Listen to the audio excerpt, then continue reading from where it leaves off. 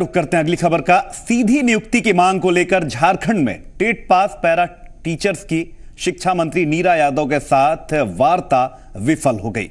दरअसल, para teachers अपनी मांग को लेकर बीते 16 दिनों से राजभवन के सामने धरना पर बैठे हुए हैं। नीरा यादव ने पैरा शिक्षकों को वार्ता के लिए बुलाया भी था, लेकिन फर्जी पैरा टीचर्स की नियुक्ति के आरोप पर मंत्री वार्ता के बीच में ही छोड़कर नाराज़ होकर चली गई और अपने चैम्बर से वो निकल गईं। शिक्षा मंत्री ने कहा कि टेट परीक्षा के बाद ही अब नियुक्ति होगी। इधर शिक्षा मंत्री के रुख के बाद पैरा टीचर्स ने उग्र आंदोलन का ऐलान किया है। देखिए मंत्री महोदया से भी बात हुई।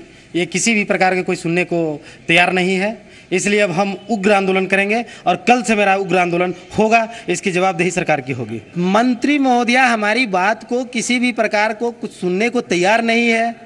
स्पष्ट कहती है कि क्या होगा, कैसे होगा, हम टेट लेंगे। टेट छः छः महीना में लेने का है। हम भाई, टेट को हम विरोध नहीं कर रहे हैं, लेकिन हम पहले जब टेट पास है तो हमें सीट क्यों नहीं कर रही हैं?